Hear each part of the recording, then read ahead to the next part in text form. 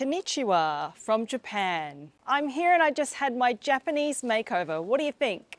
Pretty cute, hey? Everyone kept saying my hair was kawaii. Putting on the kimono is quite the experience because there's actually a lot of effort and work involved. So much effort, it took over 45 minutes to put on this garment. And that's what I did today, which was pretty cool.